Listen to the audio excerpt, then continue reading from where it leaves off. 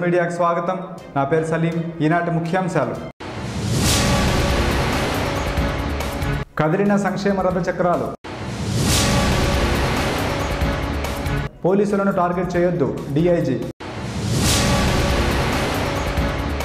Andhra Pradesh net విస్తరణతో fit. CM జగన్ను కలిసిన బీఓబీ ఈడీ. సుల్లూరుపేటలో కిడ్నాప్ కలకలం. ఎమ్మెల్సీగా పోతుల సునీత ఎన్నిక. పరుగులు పెడుతున్న పోలవరం పనులు. ఏపీలో కొత్తగా నూట ముప్పై తొమ్మిది కరోనా కేసులు. Fake journalist arrest. కదిలిన సంక్షేమ రథ చక్రాలు ప్రజా పంపిణీ వ్యవస్థలో కనీ విని ఎరుగని రీతిలో సరికొత్త రికార్డు సృష్టిస్తూ పేదల గడప వద్దకి వెళ్ళి సరుకులు చేరవేసేలా నూతన ఒరవడికి ముఖ్యమంత్రి వైఎస్ జగన్మోహన్ రెడ్డి నాంది పలికారు.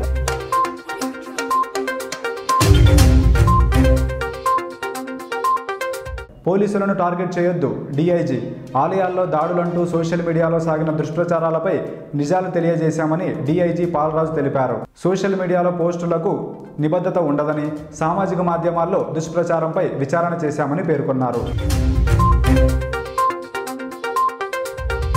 ఆంధ్రప్రదేశ్ నెట్ విస్తరణతో ఫిట్. పశ్చిమ గోదావరి జిల్లా తాడేపల్లిగూడెంలోని నేషనల్ ఇన్స్టిట్యూట్ ఆఫ్ టెక్నాలజీ విస్తరణ రెండో దశ పనుల నిమిత్తం డిపిఆర్ తయారవుతోంది.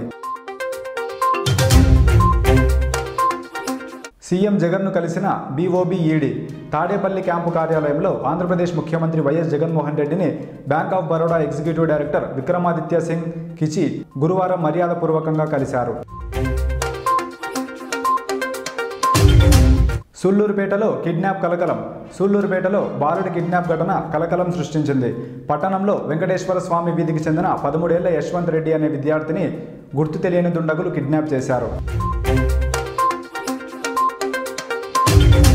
ఎమ్మెల్సీగా పోతుల సునీత ఎన్నిక. వైఎస్ఆర్సీపీ శాసన మండలి సభ్యురాలిగా పోతుల సునీత ఎన్నికయ్యారు.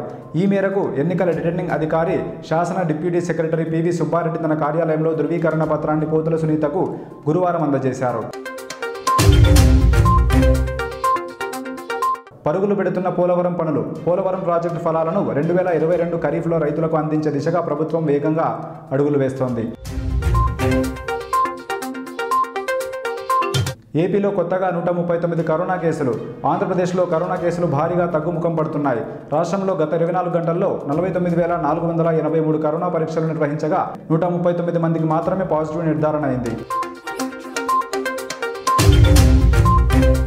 ఫేక్ జర్నలిస్ట్ అరెస్ట్ ప్రముఖ ఇంగ్లీష్ న్యూస్ ఛానల్లో జర్నలిస్ట్ అంటూ గత కొంతకాలంగా తిరుమలలో అక్రమాలకు పాల్పడుతున్న వెంకటరమణరావు అనే వ్యక్తిని టీటీడీ విజిలెన్స్ అధికారులు అదుపులోకి తీసుకున్నారు.